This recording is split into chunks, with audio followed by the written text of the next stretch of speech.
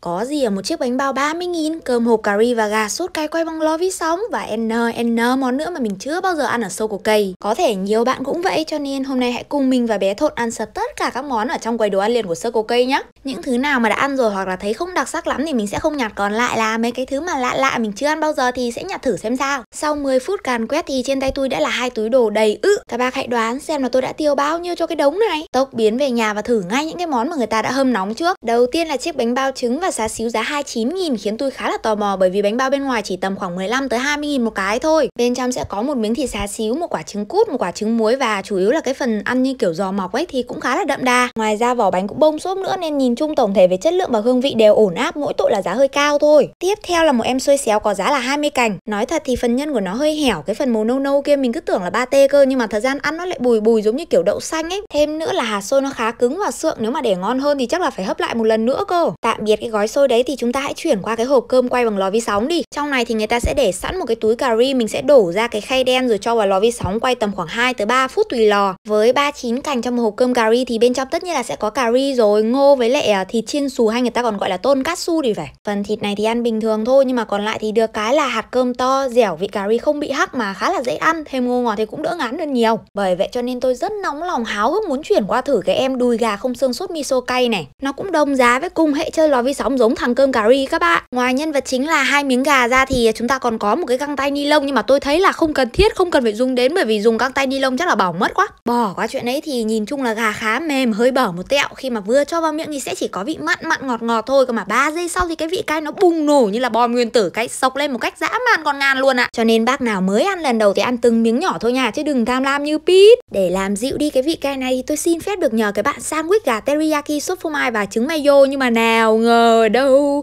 còn gì nữa đâu mà khóc với sầu Thôi má, xin lỗi nhưng mà tôi không còn gì để nói, Gặm một phát là em mới bay màu luôn Và tất nhiên là cái bánh mì kẹp răm bông sốt tiêu phô mai gì đấy còn lại thì nó cũng không khá hơn là bao nhiêu đâu. Ok, nén lại đau thương qua một cái em sandwich khác có cái câu slogan là ngon chạm đỉnh, Còn đỉnh nào thì em không biết. Muốn biết thì giờ phải bắt ghế ra treo lên, lấy cái máy nướng bánh đã lâu không dùng xuống, nướng lại xem như thế nào. Còn nhà bạn nào không có lò nướng hay là máy nướng bánh sandwich chuyên dụng như này thì có thể bảo các anh chị ở sơ K nướng lại luôn cho ở đấy nhá. Đây là bánh ngọt nhân chuối sô cô la Ăn thì cũng hay ho phết nha, Ngon nhất trong cả ba thằng sandwich luôn ý. Xem ra ngăn mặn nó cũng đã đầy đủ khá khá rồi Thì phải làm tí tráng miệng chứ nhỉ. Cơ mà xoài với cốc non mà lại chỉ chấm muối súp thôi Thì nó lại bình thường quá, Hay là mình làm tí sốt mắm đường thần thánh chấm đi. Đầu tiên là phi vàng hành với tỏi riêng ra này. Rồi, cho đường vào, cho nước vào, đun kẹo lên rồi cho một thìa nước mắm. Tùy vào nếu mà mọi người thích ăn xè thì cho ít nước, Mà thích ăn lỏng lỏng chút thì cho nhiều nước. Đun lưu diêu tới khi sệt lại rồi thì cho hành với tỏi vào rồi tắt bếp, Thế là xong rồi. Đó, xong ta lấy một miếng xoài chua hay một miếng cóc chua gì đấy, chấm đẫm, chấm ngập vào cái sốt mắm đường kẹo kẹo mặn mặn ngọt ngọt này. Ui trời